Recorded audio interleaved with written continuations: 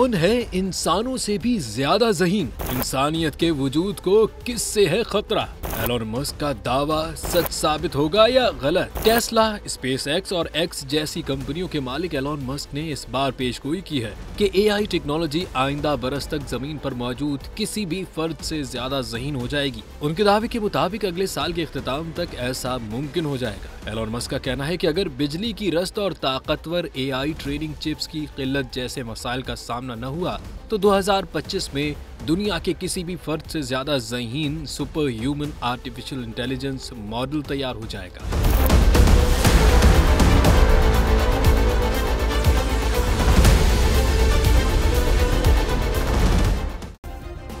Subscribe करें और bell दबाएँ ताकि कोई खबर रह न जाए।